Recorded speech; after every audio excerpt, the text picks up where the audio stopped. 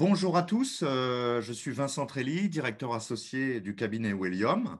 Euh, je vous remercie de l'intérêt euh, porté à, cet événement où nous sommes heureux d'accueillir Monsieur Luc Ferry, philosophe, pour un échange qui contribuera au débat d'idées, notamment sur l'essor des technologies numériques et leur impact sur l'écosystème de santé. Cette démarche s'inscrit dans la volonté de William de contribuer à la transformation du système de santé par la prise en compte de l'ensemble des enjeux, qu'ils soient humains, sociétaux, médicaux, économiques, techniques euh, et bien évidemment réglementaires. Euh, je vous souhaite donc de, passer un agréable moment euh, lors de cet échange. Luc Ferry, bonjour. Merci d'avoir accepté de partager avec nous votre vision. bonjour Vincent. Avec avec plaisir. Merci à vous pour l'invitation. Euh, William et son écosystème sont au cœur de la transformation numérique et c'est sur ce sujet que, nous allons échanger euh, sans tabou ce matin. Euh, nous vivons une, révolution sans précédent, celle de l'Internet et des technologies numériques, que l'on parle d'intelligence artificielle, de 5G, d'Internet des objets et des immenses perspectives euh, parfois euh, extrêmement euh, optimiste et puis parfois un peu plus sombre. quelle analyse vous faites de cette troisième révolution et quelles sont les grandes tendances de cette révolution? La troisième révolution industrielle, c'est d'abord celle de l'intelligence artificielle. Le reste, c'est l'habillage. La robotique sans intelligence artificielle, ça n'est rien. Le numérique sans intelligence artificielle, ça n'est rien. Et donc, euh, c'est d'abord et avant tout une révolution de l'intelligence artificielle. Je dirais que le principal problème que nous avons, nous, en France euh, et, plus généralement en Europe, c'est que nous sommes encore aujourd'hui des sous-traitants des États-Unis et de la Chine, pour ne pas dire une colonie. Ce qui est un paradoxe, puisque nous avons des chercheurs qui sont extraordinaires, nous avons des start-up qui se montent en France euh, en particulier, qui sont tout à fait remarquables, mais les les plus grands aujourd'hui, comme euh, Yann Lequin, avec qui j'ai eu le plaisir de déjeuner il n'y a pas très longtemps, qui est l'inventeur du deep learning, donc on peut dire l'inventeur de l'intelligence artificielle moderne. Il est, il est breton, il est français par conséquent, et il travaille malheureusement pour nous, il travaille pour Facebook, il travaille pour Mark Zuckerberg. J'ai visité les entreprises de Facebook euh, en Europe, notamment FAIR à Paris. Donc, euh, vous savez, ils ont six, six antennes d'intelligence artificielle qui travaillent notamment sur la, reconnaissance faciale, mais pas seulement faciale, parce que en médecine, euh, la reconnaissance faciale ou la reconnaissance d'un mélanome par rapport à un carcinome, c'est la même technique, évidemment.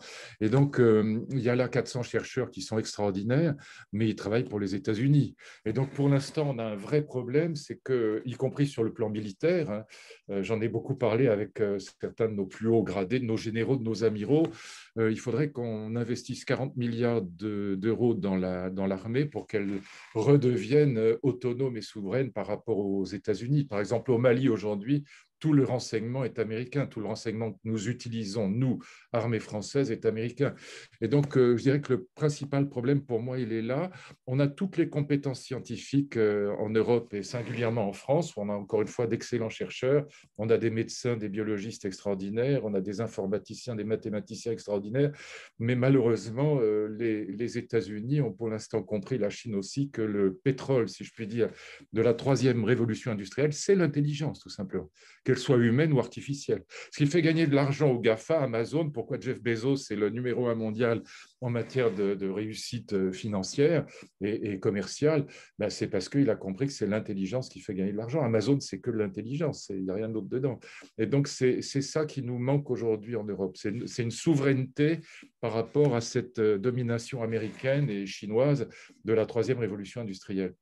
Et comment on fait pour, euh, pour euh, euh, essayer de rattraper ce retard et se remettre à niveau, à part les 40 milliards oui, bah, il faut d'abord, il faut, il faut le projet européen euh, structuré. Bah, d'abord, enfin, moi, si, j'étais aux affaires, mais c'est pas le cas, mais d'abord, je pense qu'il faut rapatrier les cerveaux, les cerveaux européens. Demis Hassabis, par exemple, les Britanniques, c'est lui qui a inventé AlphaGo, l'ordinateur qui a battu le logiciel qui a battu l'Icidol en 2016, le, donc le, le, meilleur joueur au monde au jeu de Go. Donc c'est une performance extraordinaire. Il est britannique, mais il travaille pour Google. Euh, je viens de citer le cas de Yann Lequin, qui est français, mais il travaille pour Facebook.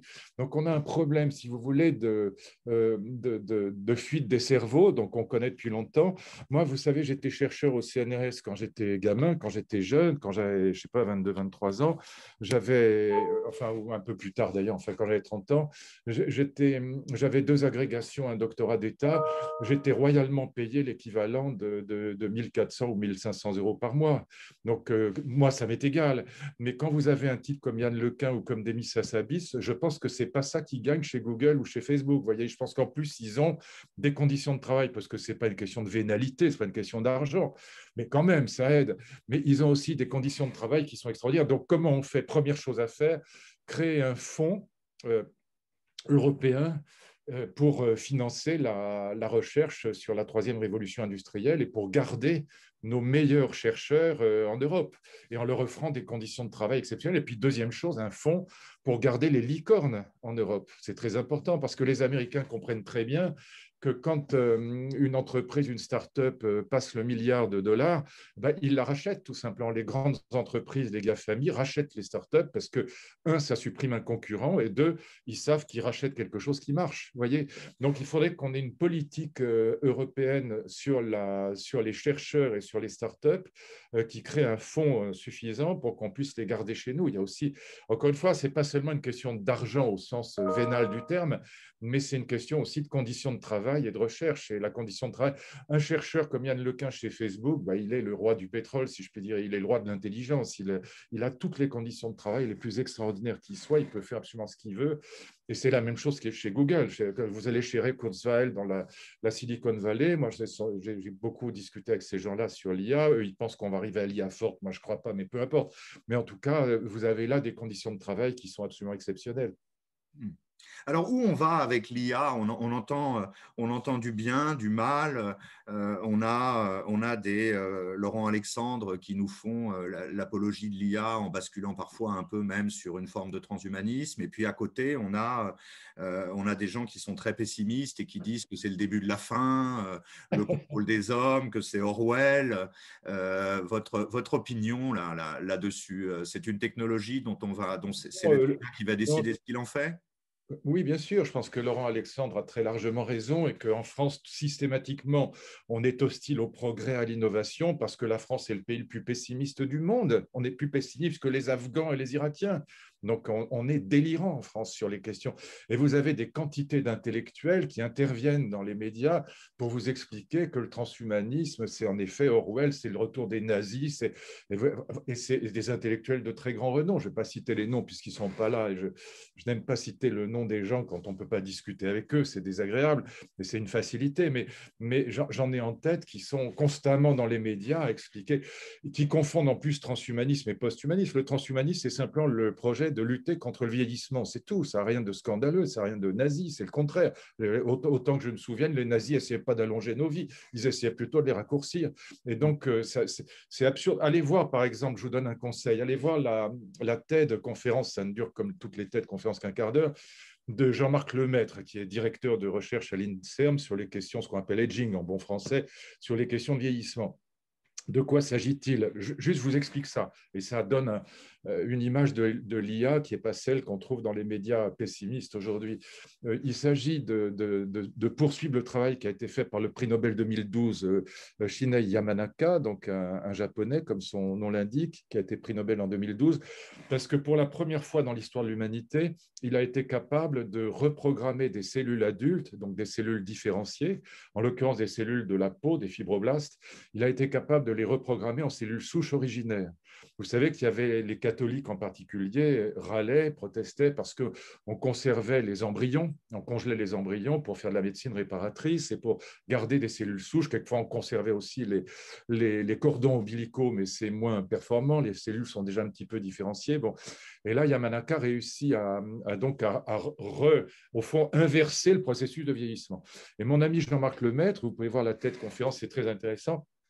Alors Yamanaka réussit à ça avec quatre facteurs qui sont des facteurs de reprogrammation de cellules adultes en cellules souches euh, originaires, les IPS, hein, les, cellules souches induites, on les appelle. Et euh, Yamanaka pensait qu'on ne pouvait pas aller au-delà.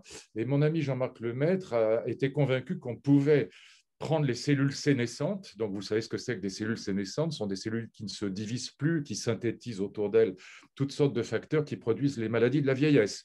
L'arthrite, l'arthrose, un certain nombre de cancers, la sarcopénie, l'ostéoporose, les saloperies, quoi. Vraiment, ce qui nous emmerde quand on vieillit, il faut dire les choses clairement. Et donc, euh, il a réussi à reprogrammer en cellules souches originaires des, cellules d'une cinquantaine de centenaires moi, j'ai vu les souris qu'il a. Ben, une souris, ça vit quoi Deux ans et demi? Euh, ben, vous avez des cellules, des souris qui n'ont pas été traitées, puis vous avez des, souris qui ont été traitées. On a l'impression qu'elles ont 15 jours. Elles sont, sont magnifiques. Elles n'ont pas le dos cassé. Elles ont un poil lumineux. Bon, le transhumanisme, c'est ça. C'est simplement lutter contre le vieillissement, avec cette idée que, au fond, si on faisait vivre les humains peut-être 130 ou 140 ans, non pas des vieillards, mais en, jeunes, je veux dire, il ne s'agit pas d'allonger la vieillesse, il s'agit d'allonger la jeunesse. Et les gens ne comprennent pas ça. Ils pensent qu'on va fabriquer une, une, population de vieillards gâteux en fauteuil roulant. Ce n'est pas ça, c'est qu'on va allonger la jeunesse. On va retarder la vieillesse. Et donc, euh, ça permettrait peut-être, c'est pas sûr, mais c'est ça le pari à l'humanité d'être moins sauvage, moins bête. Regardez le XXe siècle, c'est une horreur. Enfin, on n'est pas si formidable. Alors, le post-humanisme, ce que des gens comme, euh, comme Testard ou Olivier Ray euh, condamnent en permanence, ils confondent transhumanisme et posthumanisme. Le, le posthumanisme, c'est l'idée de Kurzweil, c'est l'idée de fabriquer une IA forte. Une IA forte, c'est quoi? C'est fabriquer un cerveau de neurones artificiels qui serait tellement performant qu'il produirait de la conscience et des émotions. Au fond, on aurait une post-humanité. Je n'y crois pas une seconde. Je pense que ce projet est délirant. Mais c'est ça le post-humanisme. Le transhumanisme, c'est simplement lutter contre la vieillesse et allonger la jeunesse. Quand je vois le nombre de cosmétiques qui sont vendus chez L'Oréal, je me dis qu'il y, a beaucoup de gens qui seraient partants. Et, surtout, quand vous pensez à quelqu'un que vous aimez et qui vieillit et qui va mourir, on, aimerait bien que les gens qu'on aime visent 20 ans, 30 ans de plus, en bonne santé, en pleine forme. Bon. Et donc, euh, ce n'est pas du tout un projet diabolique et nazi Enfin mais toujours cette idée aussi qu'on retrouve, pardon, je, vais y revenir, mais euh, grâce à l'IA, juste un point pour donner des aspects positifs, grâce à l'intelligence artificielle, vous le savez, on guérit des cancers grâce aux immunothérapies à la reprogrammation des lymphocytes euh, T, notamment, euh, où on utilise CRISPR, euh, CRISPR-Cas9 ou Cas12 ou Cas13 aujourd'hui. Et donc, on, reprogramme des cellules, on, travaille avec l'intelligence artificielle avec CRISPR, et on guérit aujourd'hui des cancers, en particulier des mélanomes, qui est un très mauvais cancer parce qu'il métastase très vite avant qu'on s'en aperçoive. Et donc, on guérit des mélanomes qui étaient encore mortels il y a 5 ou 10 ans. Et donc, c'est ça aussi l'IA. C'est pas simplement en Chine, on va contrôler. Alors, bien sûr, en Chine, on utilise le, gouvernement chinois utilise l'IA pour contrôler les gens, pour fliquer les gens. Mais le problème, c'est pas l'IA, le problème, c'est le gouvernement chinois. Bien sûr. Et donc, la santé, la santé, on dit souvent que ça va être un des secteurs les plus impactés par cette révolution numérique et par l'intelligence artificielle. Ah euh, c'est lié à quoi? C'est lié à, essentiellement, on dit souvent que l'intelligence artificielle, si elle a mis du temps à démarrer et qu'il y a eu des, des, ères glaciaires un peu depuis 1950, euh, c'est parce qu'on manquait de moteur. Maintenant, on l'a avec les supercalculateurs et on manquait de carburant. Euh, et maintenant, on l'a avec les milliards de data que l'on produit en permanence. Euh, et donc, c'est grâce à cela qu'on va développer énormément de choses, des modèles prédictifs, de la médecine personnalisée. Euh, on a déjà des exemples internationaux un peu ah bah, significatifs. bien sûr. Bah, par exemple, dans le domaine du diagnostic, là, vous avez raison, c'est que pour, pour, comprendre comment fonctionne l'IA, moi, pardon, je ne suis pas un spécialiste, je ne suis pas un algorithmeur. Bon, là, il faudrait inviter Aurélie Jean, qui est formidable, qui a écrit un très beau livre s'appelle Derrière la machine et qui est spécialiste des algorithmes, une petite française, qui une jeune française qui travaille au MIT et qui est géniale. Bon, mais moi, pas, je ne suis pas un spécialiste de ça, mais ça fait dix ans que je travaille là-dessus, donc je comprends ce qui se passe. Et il faut comprendre que ce qui booste aujourd'hui l'intelligence artificielle, et c'est pour ça que les Chinois sont numéro un mondiaux, ils sont maintenant devant les Américains, il y a, vous l'avez la puissance des supercalculateurs. Vous savez qu'en Chine, les derniers, euh, ordinateurs, ils sont capables de traiter 140 millions de milliards d'opérations par seconde. Je dis bien 140 millions de milliards d'opérations par seconde. Et c'est évidemment indispensable pour traiter les milliards de milliards de data qui traînent euh, partout dans le monde. Le deuxième paramètre qui booste l'intelligence artificielle sont les algorithmes. Eux, ils sont fabriqués par les humains, ils sont corrigés en permanence. Et puis le troisième, et c'est le plus important, c'est la quantité de data qu'on donne, si je puis dire, à bouffer à la machine. Euh, pour qu'un enfant de 5 ans reconnaisse un zèbre qui a des rayures d'un âne qui n'en a pas, il lui faut trois photos. Après, il ne se trompe pas. La machine, lui, il faut peut-être 300 000 photos, mais une fois que vous lui avez fait manger, si je puis dire, les 300 000 photos de zèbres et d'ânes sous toutes les coutures possibles, ou de lions et de tigres, sous toutes les coutures possibles et imaginables, elle vous reconnaît un lion d'un tigre avec un centimètre carré d'oreille sur une photo floue à 3 km. Et donc euh, là, elle reconnaît un mélanome d'un carcinome. Il y a eu, vous savez, une compétition il y a trois ans qui a été organisée entre un, logiciel de diagnostic médical euh, de dermatologie contre 54 euh, dermatologues qui étaient des PUPH, donc très haut niveau, de 17 pays différents, donc il n'y avait pas de biais sur l'information. Bon, 95% euh, de, on leur montrait des photos de, de, grains de beauté pour savoir si c'était cancéreux ou pas, en gros carcinome ou mélanome, etc. Et donc, alors moi, je, précise, j'ai fait trois ans de biologie du cancer sérieusement, puis j'ai commencé à travailler sur la biologie il y a 30 ans avec Jean Dosset, qui m'avait fait l'amitié de me faire venir au CEF avec Daniel Cohen. Donc, euh, j'ai jamais arrêté. Donc, j'ai une passion pour cette euh, discipline. Je ferme la parenthèse. Et donc, 95% euh, de bonnes réponses pour la machine de diagnostic médical. 85% pour les médecins ils ont râlé en disant mais nous on n'est pas des machines, on veut voir les patients, est-ce que c'est un homme, est-ce que c'est une femme, quel âge il a, etc. Normal. Bon, on est, on parle avec le dialogue avec le patient nous aide à faire le diagnostic. On les a laissés voir les patients qui étaient derrière les photos, mais ils sont passés de 84 à 89% mais ils étaient toujours battus par la machine. Il y a eu un débat très important euh, en Grande-Bretagne pour savoir si on ne devait pas obliger les médecins non pas à suivre euh, les indications de la machine, ce qui serait idiot, mais à les consulter. Pourquoi? Parce que la machine dispose d'une base de données, de data, qui est des milliers de fois supérieure, peut-être des à, notre cerveau. On ne dit peut rien, ça ne veut pas dire qu'on est bête, mais ça veut dire qu'on ne peut pas avoir ce stockage-là dans notre cerveau, la machine peut. Alors, il y a eu un papier, je termine avec ça, il y a eu notamment dans le livre de Yuval Harari, que je trouve un très très mauvais livre, hein, pardon, je le dis franchement, qui a été repris par Gaspard Koenig en France, disant oui, la machine va nous faire perdre notre liberté. Ils ont pris l'exemple d'Angelina Jolie, puisque une machine a dit à Angelina Jolie qu'elle avait 95% de risque de développer un cancer du sein, vu ses ascendants familiaux. Elle a fait l'ablation des seins, ce qui en effet est très dur. Probablement, elle a très bien fait d'ailleurs. Et donc, ils disent Angelina Jolie a perdu sa liberté face à la machine. Mais l'argument est d'une bêtise rare. Si c'était un médecin humain qui lui avait dit ça, c'était pareil. De toute façon, il fallait qu'elle prenne la décision. Ça ne changeait rien. Et le fait que la machine soit meilleure que l'humain nous aide à décider librement. Donc, c'est vraiment des arguments d'une bêtise absolue, mais qui marchent. Beaucoup de médecins aussi que je vois me dire Ah, mais est-ce qu'on va pas perdre notre liberté de diagnostic Je dis non. Je leur dis non. Vous, vous serez trois. Vous aurez le logiciel de diagnostic, vous aurez le patient et vous et vous discuterez, si je puis dire, à trois. Et si vous n'êtes pas d'accord avec la machine, vous direz au patient, écoutez, la machine dit ça, moi je vous dis autre chose, je pense que la machine déconne, maintenant c'est vous qui choisissez. Et je vous dis pourquoi je pense qu'elle se trompe. Voyez et là, il y aura un dialogue. Après, bon, le patient pourra choisir ce qu'il veut.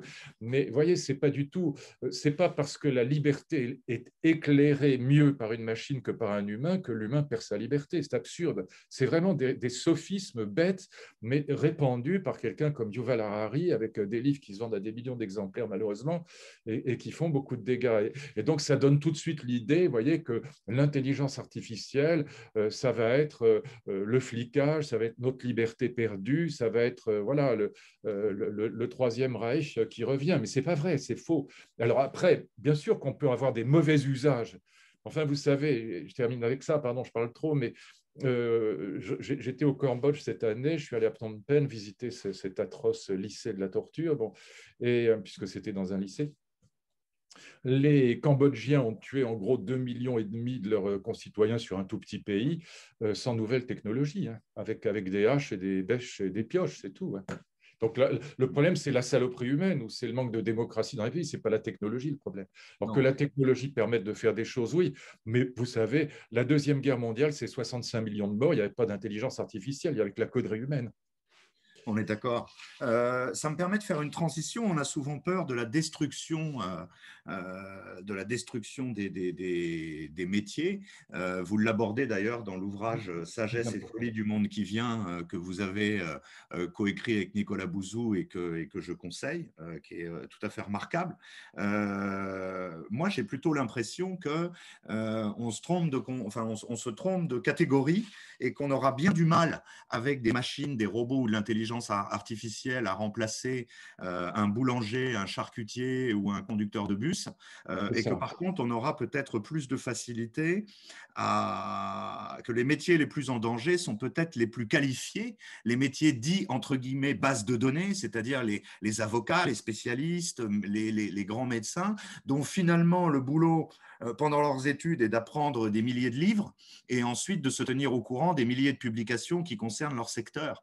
Euh, comment vous voyez, vous, l'avez déjà un peu abordé avec la coopération avec la machine, comment vous voyez l'impact de cette révolution numérique et, euh, et de l'intelligence artificielle à la fois sur la société en général et un petit peu particulièrement sur les métiers du soin et de la santé? Alors, je pense qu'on commet beaucoup d'erreurs quand on dit, je lis ça tant, que 45% des métiers qu'on connaît aujourd'hui auront disparu dans, les, dans, dans, 30 ans. Enfin, tout ça est faux. Ce qu'il faut bien voir, c'est que ce sont d'abord et avant tout les tâches qui sont impactées, mais pas les métiers eux-mêmes. Je vous donne un exemple. Quand j'arrive au ministère de l'Éducation en 2002, euh, je demande à ma secrétaire, de, à une de mes secrétaires de, de rassembler les, comment ça s'appelle, euh, les, les, répertoires, pardon, les répertoires avec les adresses, les téléphones des gens. Bon, il y en avait six qui traînaient dans le ministère, parce que j'avais quatre ministères, j'avais l'école, j'avais la recherche, j'avais les universités, j'avais la jeunesse, j'avais mes, répertoires. Enfin, to make a long story short, elle a mis une semaine à rassembler les choses, à vérifier, etc., ou même dix jours même, bon, à calligraphier, etc. Aujourd'hui, avec un logiciel, euh, en gros, elle aurait mis deux heures. Bon, la tâche a disparu, Heureusement, parce que c'est une tâche idiote, en fait. Le, métier de secrétaire n'a pas disparu. Je n'ai pas viré ma secrétaire pour autant. Et donc, elle travaille avec moi, elle fait des choses mille fois plus importantes, elle relit mes livres, elle s'occupe de mille choses pour moi. Elle me connaît mieux que personne d'autre au monde et on travaille ensemble euh, dix fois par jour. Et donc, elle fait des choses qui sont plus intéressantes pour elle et pour moi que d'écrire à la main un répertoire. Donc, la tâche a disparu, le métier n'a pas disparu. Alors, oui, il y a des métiers qui seront très impactés, mais il y en a relativement peu. Par exemple, radiologue c'est sûr que ce sera c'est très impacté parce que la machine fait beaucoup de choses. Mais néanmoins, il faudra quand même un radiologue ou deux ou trois dans un service de radiologie pour surveiller la machine et puis pour interpréter les résultats. Bon et puis pour parler avec le patient. Bon. Mais en gros, euh, ce qui est très important à comprendre, et si j'étais ministre de l'Éducation encore, ce serait mon premier, premier sujet, plutôt que de m'occuper de savoir s'il faut un oral au bac ou pas, euh, ce dont je, me fous comme dans l'an 40, à vrai dire. Euh, ce, ce, dont je m'occuperais, c'est de savoir quelle formation donner à nos enfants pour qu'ils soient complémentaires du monde de l'IA et pas victimes du monde de l'IA. Et vous le disiez très bien, les métiers qui associeront la tête, le cœur et la main, l'intelligence, euh, les relations humaines, euh, le sens des responsabilités, par exemple, et puis euh, éventuellement un savoir-faire manuels pratiques en plus ne seront pas remplacés par la machine. Autrement dit, euh, cuisinier, euh, jardinier, euh, directeur d'hôtel, pilote d'avion ou de train, ce sera enfin, train c'est différent, mais pilote d'avion ce ne sera pas remplacé par les machines. je vais être très clair, le radiologue disparaîtra avant le généraliste et le généraliste disparaîtra avant l'infirmière en médecine, parce que pour retourner quelqu'un, lui piquer le cul en lui disant que ça lui fera pas mal, ce qui est évidemment un mensonge, il faut une personne, il faut pas la machine ne sait pas faire ça. Voilà, un directeur d'hôtel, c'est irremplaçable. Voilà. Donc un jardinier, c'est un cuisinier, c'est irremplaçable. Voilà, un psychologue aussi, c'est irremplaçable. La machine ne fera pas de psychologie. Et donc il y a des métiers comme ça qui, qui, seront vers lesquels il faut envoyer plutôt nos, nos enfants s'ils ne sont pas des grands scientifiques. Les, grands scientifiques ont toujours du boulot, que ce soit les biologistes ou les mathématiciens, ou des grands littéraires qui écrivent des livres, très bien. Mais sinon, euh, il vaut mieux les envoyer vers des métiers tête, cœur, main. C'est ça l'éducation nationale devrait préparer dès aujourd'hui. Réparer un moteur de bagnole, ça demande énormément d'intelligence, mais ça demande aussi du savoir-faire manuel. Ça, la machine ne sait pas faire. Elle peut éventuellement faire un diagnostic sur un moteur perfectionné, on fait ça chez Mercedes ou chez Renault, mais euh, pour réparer, pour changer un alternateur qui ne charge plus la batterie, il faut, mettre la main à la pâte, si je puis dire. Et ça, ce n'est pas remplaçable par une machine. Donc il faut réfléchir dès maintenant à ces métiers qui ne disparaîtront pas, étant donné que le revenu universel de base, l'allocation universelle, ce serait la pire catastrophe qu'on puisse imaginer. Pourquoi? Parce qu'à terme, vous auriez 70% des Français qui seraient quoi? 800-900 euros par mois c'est-à-dire en fait pas très suffisant pour vivre, loin de là même à mon avis. Et puis vous aurez 30% des, des, gens qui auront un vrai boulot, euh, qui rouleront en Porsche ou en Ferrari ou en Mercedes, et puis qui considéreront assez rapidement que les 70% qu'ils payent, parce que c'est eux qui les paieront, c'est le travail qui paye. Euh, si on est payé, c'est parce qu'on travaille. Bon, et donc, euh, ils, considéreront assez rapidement que les 70% d'à côté sont des parasites. Et vous organiserez une, société de la haine, en vérité, et de la jalousie. C'est X-Play et les alpha, bêta, gamma, quoi, quelque part. Exactement. Il faut absolument éviter ça. Le seul moyen d'éviter ça, c'est rendre nos enfants complémentaires de l'IA et pas victimes de l'IA. Et donc, il faut les former dès aujourd'hui à des métiers qui ne seront pas remplacés par les machines, ou alors des métiers pour lesquels les machines seront une aide et pas, une, et, pas une, un adversaire. Voilà. Vous voyez? Et donc, ça, ça, demande beaucoup de réflexion sur ce qui se passe aujourd'hui. Hein. Voilà. Et ça, malheureusement, euh, nos politiques ne sont pas formés à ça. Ils ne connaissent pas ces choses-là. Ils ne connaissent pas la troisième révolution industrielle. Ils ne savent pas ce que c'est que l'IA. Ils ne savent pas ce que c'est que la robotique. Et donc, ils se contentent. Euh, en fait, la, formation des, de nos, hommes politiques, pour l'essentiel, c'est en gros Sciences Po, c'est la sociologie électorale. Et, euh, et puis la communication, c'est en gros Sciences Po et Seguela. Voilà. C'est-à-dire, j'aime beaucoup Seguela, qui est un ami, c'est pas ça, mais en termes de formation, c'est ce qu'il y a de pire au monde. je suis désolé, mais euh, avoir juste, avoir zéro formation scientifique, avoir zéro formation d'historien, c'est une catastrophe. Jusqu'à jusqu'à Giscard, on avait, des, on avait des hommes politiques qui étaient, Giscard était polytechnicien, euh, Mitterrand, quoi qu'on en pense, moi je suis pas mitterrandien, mais enfin c'était un homme extrêmement cultivé en histoire. Bon. Et donc, euh, soit ils étaient historiens ou scientifiques ou les deux, mais ce n'était pas simplement la sociologie électorale et la com. Vous voyez, ça c'est pour comprendre la troisième révolution industrielle, nos, politiques ne sont pas du tout armées. D'accord. Euh, et euh, la santé se numérise, comme d'autres secteurs, mais, beaucoup plus. On a des plateformes, on va bientôt avoir un espace numérique de santé, euh, chaque citoyen, hein, la loi l'a décidé. comment comment est-ce que le, le, patient, le citoyen patient, peut s'inscrire dans cette, euh, dans cette transition numérique. On, parle du patient euh, au cœur de son processus de soins, on parle d'un patient de plus en plus acteur. moi, je dis souvent, c'est vrai qu'on part de loin. Hein. Nos grands-parents, ils allaient voir la blouse blanche et puis ils écoutaient scrupuleusement ce que disait la blouse blanche. On parle aujourd'hui de patients experts. Alors, des fois, des fois c'est pas terrible, hein, mais enfin, en tout cas, il y a Internet qui permet d'avoir d'avoir une base de discussion avec son médecin tout de même. Euh, comment vous voyez l'évolution du rapport à la médecine, du rapport à la maladie, euh, vu du patient citoyen, avec le numérique et avec toute la connaissance euh, à laquelle il a accès aujourd'hui? Mais je pense que c'est quand même plutôt une bonne chose. Moi, je vous disais tout à l'heure, ce sera un dialogue à trois, le logiciel de diagnostic d'un côté, le médecin de l'autre, et puis le patient qui aura, qui aura été, peut-être s'il a une maladie grave, par exemple, il aura été dans des, dans des groupes de patients euh, qui s'informent entre eux et qui disent, voilà, moi j'ai tel traitement, et toi, qu'est-ce qu'on t'a confié? Moi, le médecin m'a dit ci, m'a dit ça. Bon, alors évidemment, parfois, le médecin est un peu exaspéré parce qu'il reçoit des gens qui, qui lui parlent comme s'il savait mieux que lui. Bon, mais au, fond, euh, c'est assez superficiel comme exaspération, ça dure pas très longtemps parce que le médecin, c'est le médecin, c'est à la fois un scientifique, c'est à la fois une science et un art, la médecine.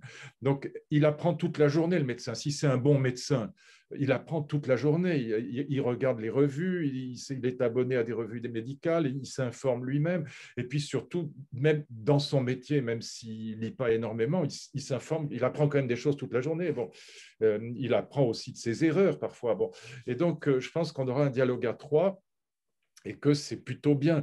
Il y avait, je me souviens, quand j'étais gamin, il y avait un film qui s'appelait Le Grand Patron, était avec Pierre Freinet, et on voit à quel point le, Grand Patron, bah alors c'était l'autoritarisme absolu. Le type, il était d'une, il était d'une arrogance absolue. Il pensait qu'il savait absolument tout, que même ses internes étaient vraiment, de, c'est de la merde, quoi. Bon, et donc ça, je pense pas que ce soit le modèle euh, qu'on puisse poursuivre aujourd'hui. Je pense que c'est ni possible ni souhaitable. Et donc après tout, que des patients viennent mieux informés euh, bon, pourquoi pas. Ce qui est parfois embêtant, c'est que vous avez des, notamment dans les officines de, pharmaciens qui vaccinent maintenant, c'est très très bien que les pharmaciens vaccinent, vous avez des antivax qui arrivent pour un peu pourrir la vie des pharmaciens. Ça, c'est parfois très pénible pour eux. Ça, je comprends très bien que ce soit.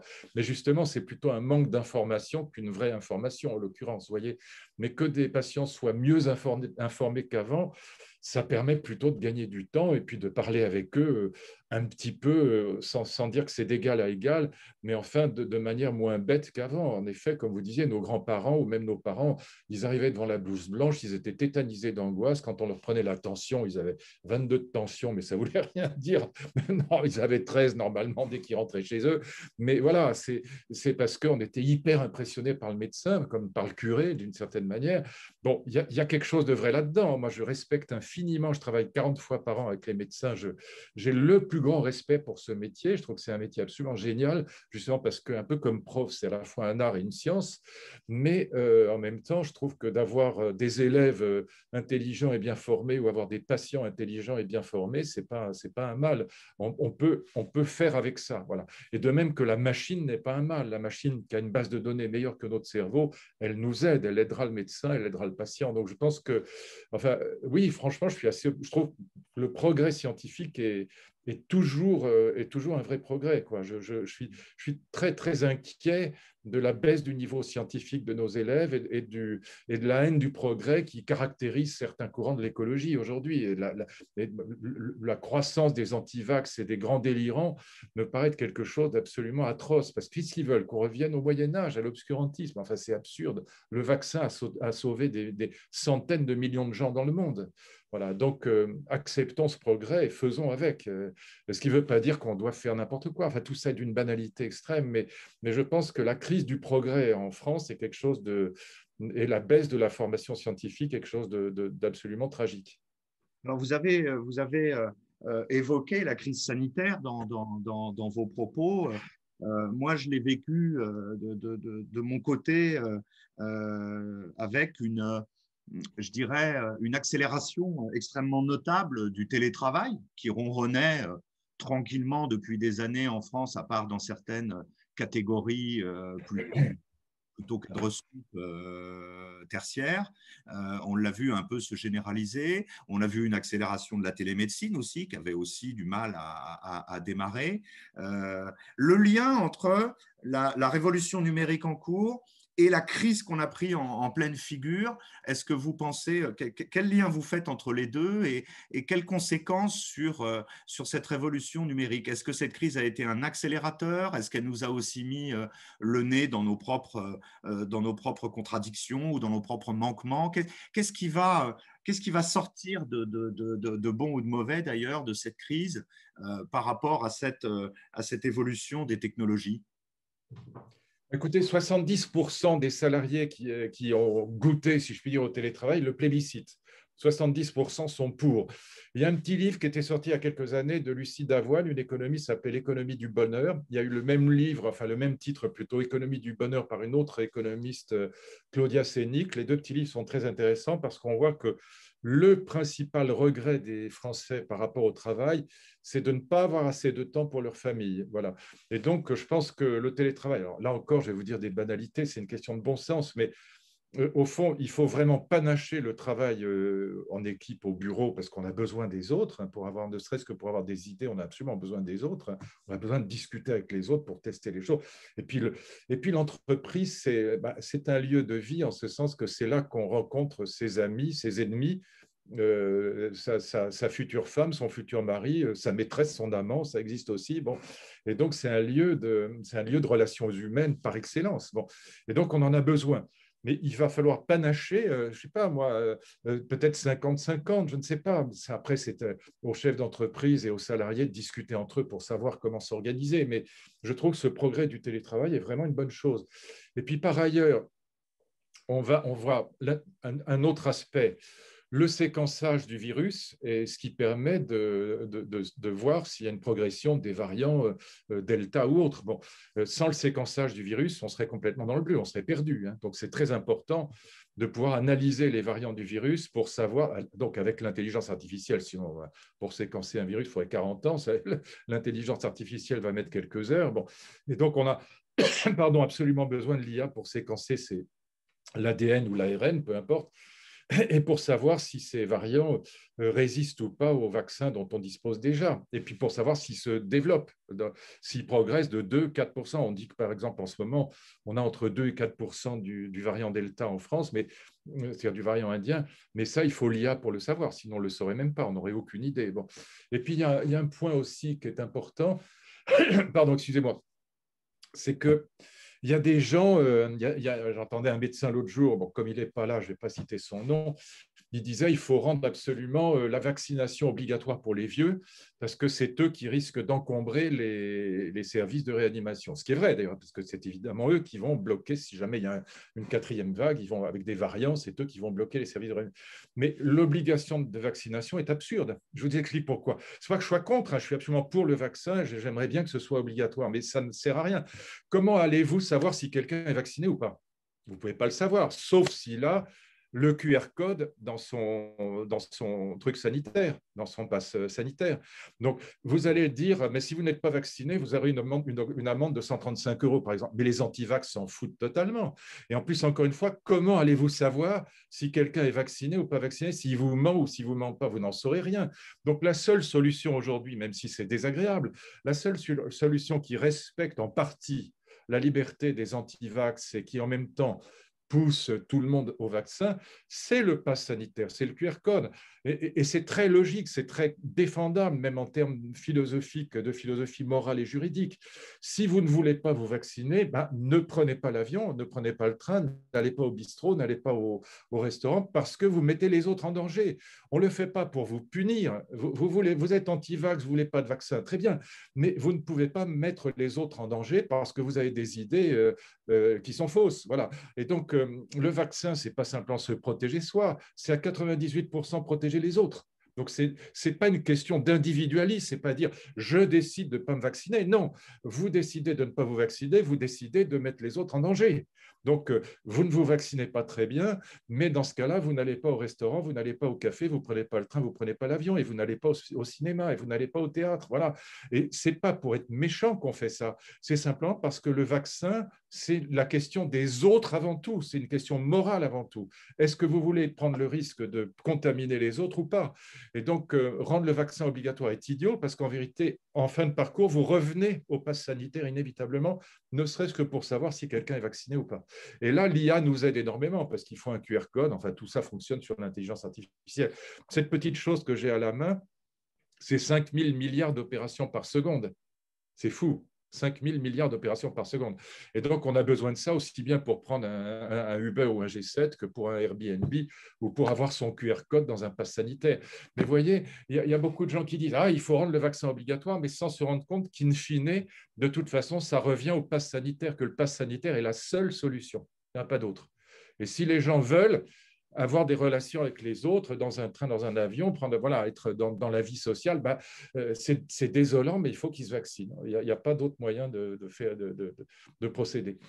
Est-ce qu'une des peurs, est-ce qu'une des peurs qui, résonne derrière ça, c'est pas de dire euh, si aujourd'hui on nous demande, euh, on nous demande d'avoir une information de santé personnelle à la disposition euh, du système pour pouvoir euh, vivre, est-ce que ce n'est pas le premier d'une longue série et qu'après, on ne nous demandera pas d'avoir un pass, je suis vacciné contre la grippe, un pass, j'ai n'ai pas de maladie transmissible, sexuellement transmissible, un pass, etc. Je, pense qu'il y a une partie de la peur qui est aussi liée au fait que c'est un peu la première fois euh, quelque part qu'on euh, nous demande d'avoir sur notre smartphone et de pouvoir présenter dans différentes situations une information, euh, somme toute un peu intime, sur notre état de santé. Alors, lié à une crise sanitaire, bien entendu, contre laquelle il faut lutter, il n'y a pas d'ambiguïté. mais est-ce qu'il n'y a pas une trouille de, la généralisation du principe?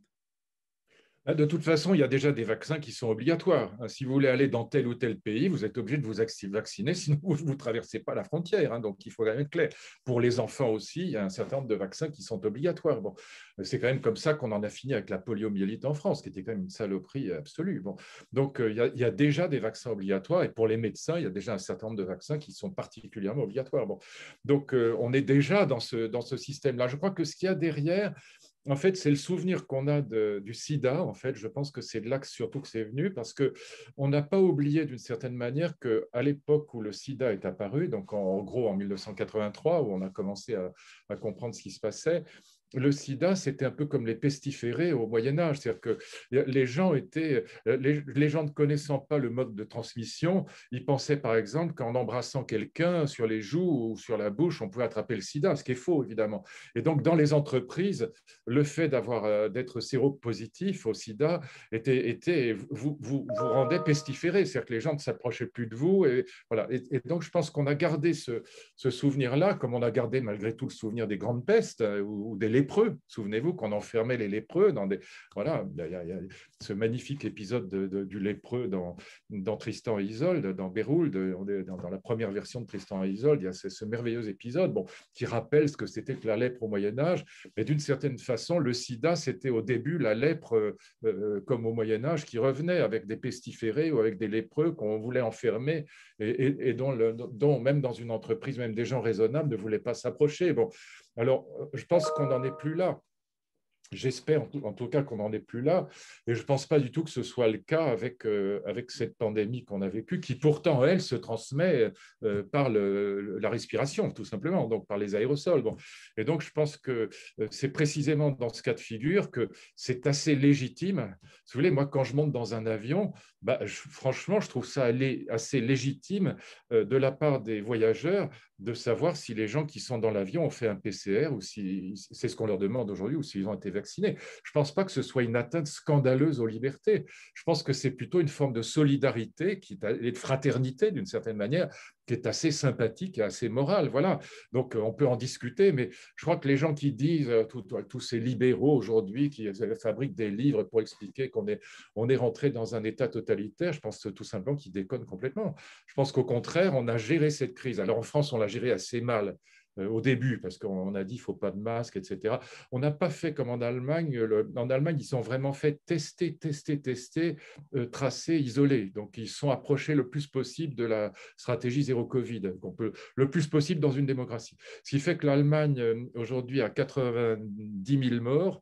Nous, on en a 110 000 mais je vous rappelle qu'il y a 67 millions de Français et 83 millions d'Allemands. Donc pour moi, le juge de paix, c'est la mort. Voilà, c'est le nombre de morts.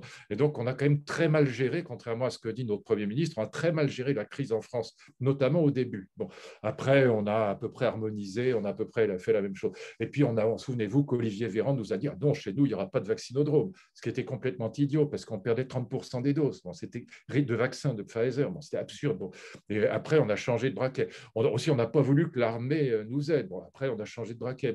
On a fait énormément de bêtises en France sur la, gestion de la pandémie qui n'ont pas été faites en Allemagne et ça explique cette différence quand même énorme. Et je pense qu'on aurait dû aussi euh, confiner en février pendant qu'il y avait les vacances scolaires. Mais peu importe les bêtises. En tout cas, globalement et en fin de parcours, ce sont des bêtises, mais ce n'est pas de la malveillance, ce n'est pas de la méchanceté. Euh, c'est simplement qu'on a affaire à un gouvernement d'amateurs qui ne connaît pas bien le sujet. Bon. Mais, mais on a fait ce qu'on a pu. C'est, pas, ils n'ont pas cherché à nuire. Bon, c'est absurde, on ne va pas leur faire un procès. Bon. Mais ils ont, encore une fois, ce sont des amateurs. Et c'est, dommage. Voilà, les amateurs, c'est comme dans la chanson. En politique, c'est toujours compliqué. Mais, mais néanmoins, même, le, dans la chanson, le pire des professionnels est meilleur que le meilleur des amateurs la plupart du temps. C'est pareil en politique. Mais néanmoins, euh, en fin de parcours, on a fait à peu près la même chose finalement que l'Allemagne, a fait à peu près la même chose euh, que les, pays à peu près raisonnables. Euh, donc je laisse le, Mexique et les États-Unis de côté parce qu'ils étaient dirigés par des grands délirants. Bon.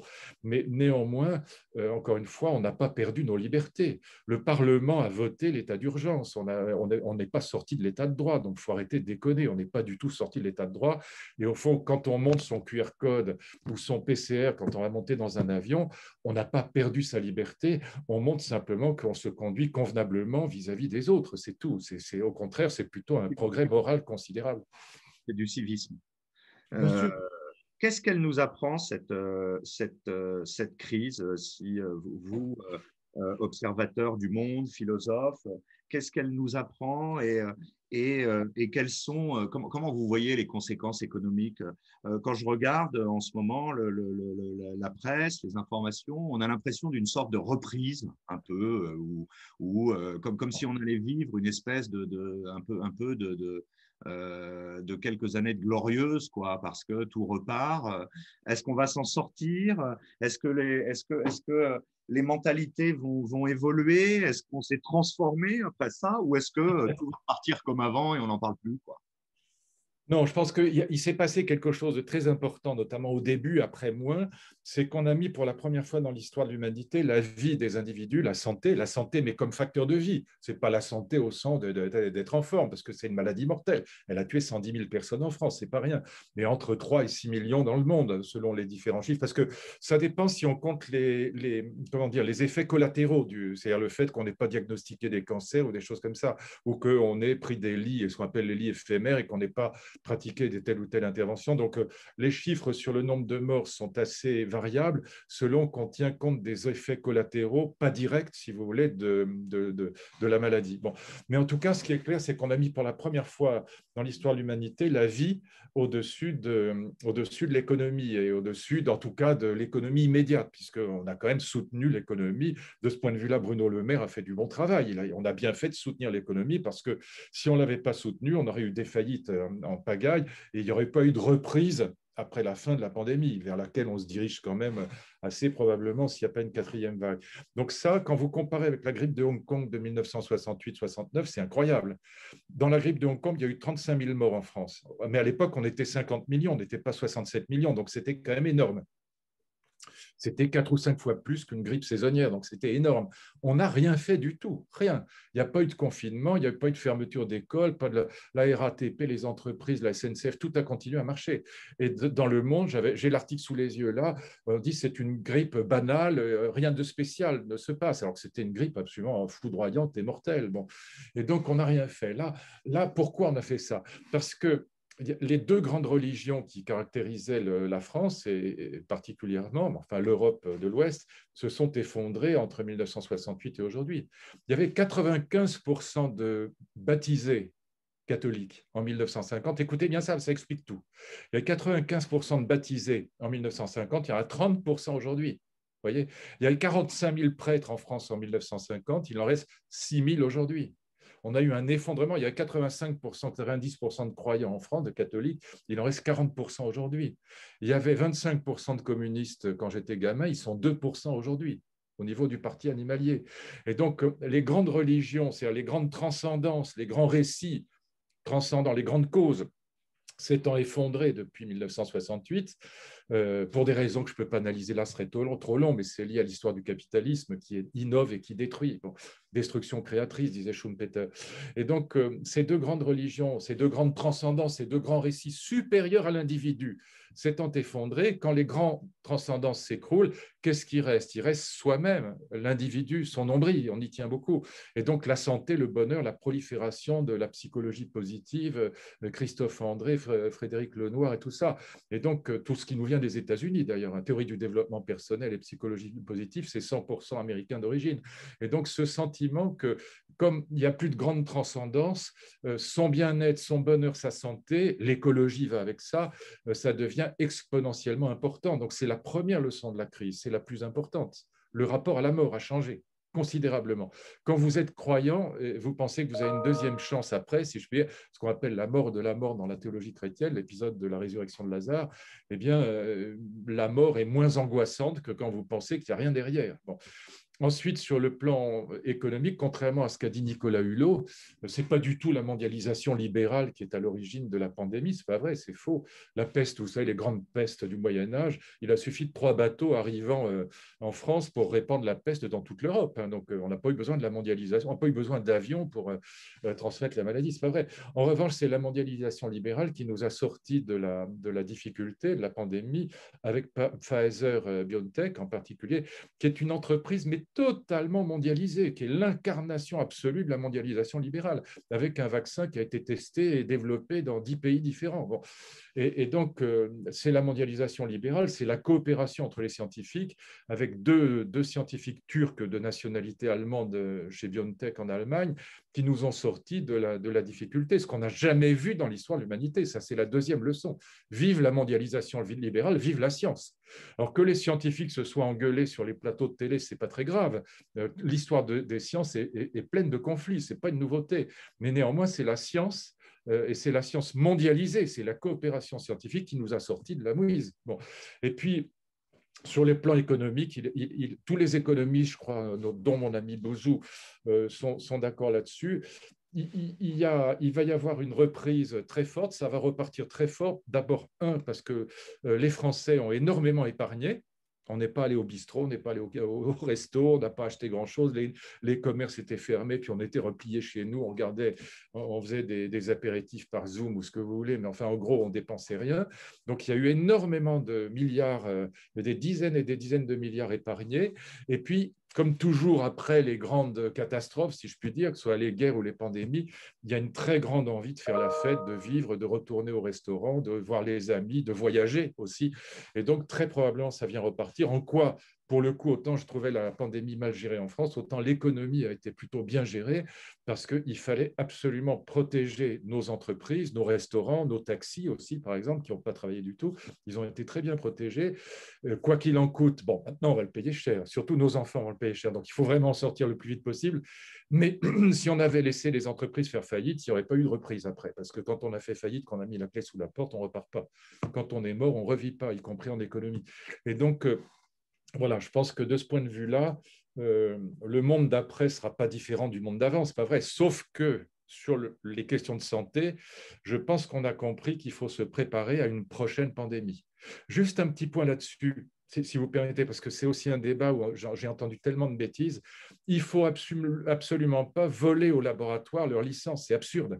Parce que dans ce cas-là, qu'est-ce qu'ils feront les laboratoires? D'abord, c'est idiot parce que le problème des vaccins, c'est pas un problème de coût, ils sont très peu chers, c'est trois fois rien. C'est un problème de développement, c'est un problème de production. On construit des usines partout, le problème c'est la production. Donc c'est pas un problème de coût du vaccin. Donc c'est pas vrai qu'en supprimant les licences aux, laboratoires comme Pfizer ou Moderna, euh, on, améliorera la situation de la vaccination dans le monde. C'est pas le problème. Le problème, il faut qu'on donne en gros 8 ou 9 milliards de vaccins aux pays du tiers-monde si on veut se protéger nous-mêmes. Mais ça, c'est un problème de production, ce n'est pas tellement un problème de coût. D'ailleurs, on a dépensé tellement d'argent. Euh, le coût du vaccin en France, c'est que dalle par rapport aux 400 milliards qu'on a développés pour euh, soutenir l'économie et protéger les gens. Bon, euh, ça va être, je crois, quelque chose comme 15 milliards par rapport à 400. C'est rien, ce n'est pas le problème. Et si vous supprimez les licences brutalement, comme le demande un certain nombre de gens, de politiques, un peu partout. Là, Madame Merkel a eu totalement raison.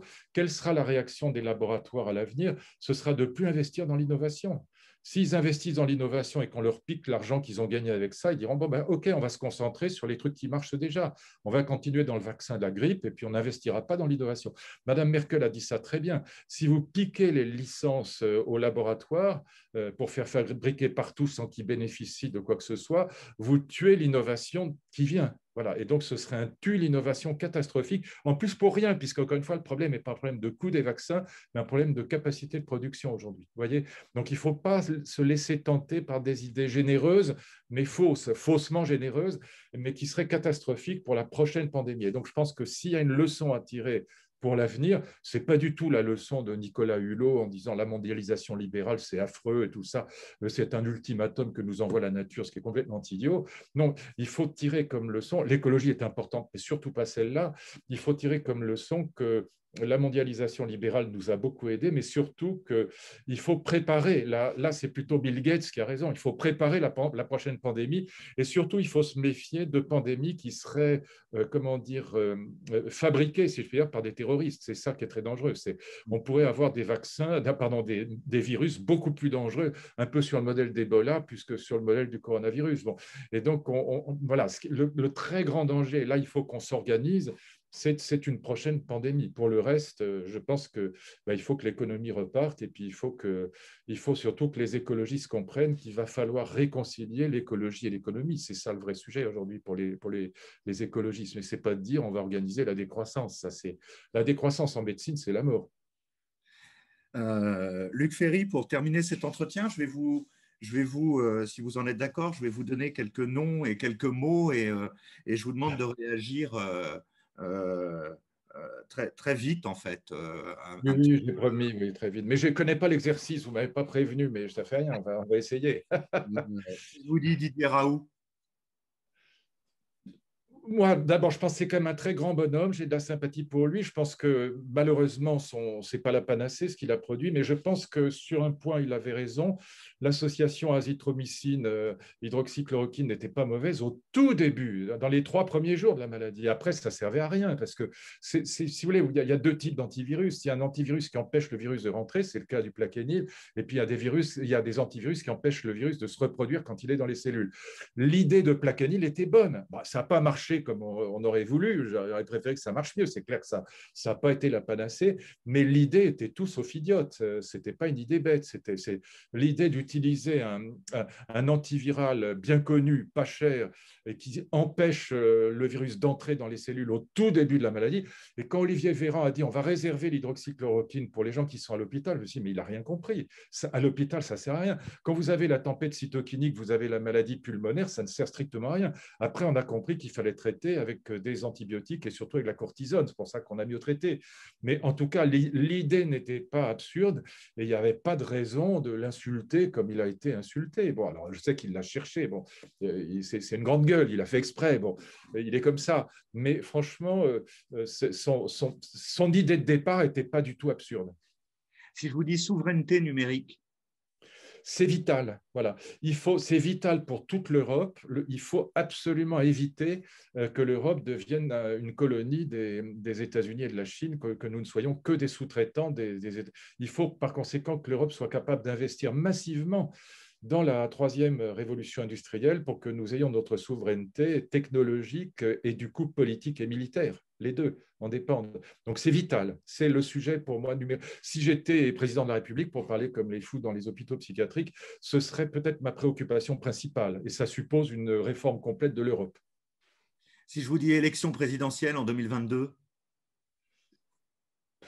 c'est, euh, disons, je ne vais, pas vais pas rentrer dans la politique aérie, mais ce qui est clair, c'est que l'élection présidentielle, elle se jouera sur des équipes. on a besoin, aujourd'hui, il n'y a pas l'équivalent du grand homme comme on avait avec, euh, avec euh, De Gaulle ou, même avec Mitterrand ou même avec euh, Giscard et Chirac. Bon, c'est aujourd'hui, je pense que les, trois partis qui peuvent l'emporter, l'AREM d'un côté, le Front National de l'autre, et puis le, les LR au milieu, enfin qui traînent les pieds pour l'instant, c'est un désastre à mes yeux. Bon, mais les trois partis qui ont une chance de, devront présenter davantage une équipe qu'un un, un, un, homme de de, salut national, un sauveteur, c'est fini, ça, plus personne n'y croit. Et donc le grand problème d'Emmanuel Macron, c'est qu'il n'a pas d'équipe, il n'y a personne autour, ou très peu de gens, euh, c'est pas brillant. Euh, sur les 37 ministres aujourd'hui, j'en connais pas 10. Et c'est un vrai problème de représentation. C'est très difficile de se sentir représenté par des gens dont on connaît même pas le nom. Donc c'est un problème de fond, c'est pas anecdotique. Hein. Et puis euh, le grand risque, voilà, c'est que un peu partout les, populismes l'emportent et c'est évidemment un vrai un vrai sujet. Bon, maintenant ce sera de notre faute. Hein. On l'aura bien cherché. On parle de Startup Nation. Qu'est-ce que ça vous dit, Startup Nation? Ça me fait vomir. Voilà. je suis très clair. Vous m'avez dit peu de choses. Je pense que c'est le compte, cette, cette, américanisation de la France est, est, une catastrophe absolue. Moi, je suis gaulliste. Hein. Ça veut dire quoi, gaulliste? Je suis totalement libéral en économie, mais je, je serais beaucoup plus libéral encore que, euh, que Macron. Euh, mais en revanche, je suis totalement républicain en politique. Vous savez, Victor Hugo avait une phrase que j'ai souvent citée dans mes livres que j'adore, c'est dans Les Misérables. Il dit politique, deux problèmes. Premier problème, produire la richesse. Deuxième problème, la répartir. L'Angleterre résout admirablement le premier problème. À l'époque où Victor Hugo écrit Les Misérables, c'est l'Angleterre est le pays le plus industrialisé du monde très mal le second problème. C'est le pays le plus inégalitaire du monde. Le communisme prétend euh, résoudre le, deuxième problème, le problème du partage, mais c'est le partage du boucher qui est obligé de tuer ce qu'il veut partager. Le communisme tue l'économie comme le, boucher tue le cochon ou l'agneau. Et donc, euh, je pense que voilà, il faut être absolument libéral en économie, plus qu'aujourd'hui, parce que c'est ça qui produit les richesses, mais il faut être républicain à l'achevènement, si je puis dire, ou à la De Gaulle en politique, parce que après il y a la question de la justice sociale, la question de la répartition, puis la question de l'autorité de l'État en matière de sécurité. Bon. Et donc je pense qu'aujourd'hui on a un gouvernement, au fond, Emmanuel Macron, il a inventé le néolibéralisme de gauche. Pour moi, c'est, pardon de le dire, c'est ce qu'il y a de pire. voilà. Politiquement, je trouve que c'est ce qu'il y a de pire. Ce n'est pas un jugement sur la personne, mais c'est, je pense que ce courant-là politique, cette américanisation du monde, est en train de détruire euh, ce qu'il y a de plus noble dans la tradition euh, républicaine et libérale européenne. Voilà, mais enfin française, française, elle est vraiment française. Voilà. Bon, alors on me dira que je suis un vieux con, mais j'assume. Ben, moi, je ne dis pas ça et je vous remercie beaucoup, Luc, euh, de cet entretien que vous avez accepté de nous donner et, de l'échange fort agréable que, que nous venons d'avoir. Merci à vous, c'est très gentil, c'est extrêmement sympathique. Merci, cher Vincent, et, euh, et, quand vous voulez à nouveau, si jamais. Voilà. Merci infiniment. plaisir.